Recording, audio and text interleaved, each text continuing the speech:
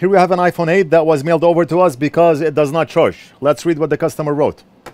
I have an iPhone 8 that I took in to get a battery replaced by an authorized Apple shop. The phone does not take a charge from the lightning port. I can place it on a wireless charger and get it to power up that way. However, wireless charging, wire charging does not charge the battery. I watched your YouTube video on the iPhone 8 with the broken MOSFET and I think this may be a problem. So Apple authorized repair shop basically damaged his motherboard and they gave it back to him with no solution.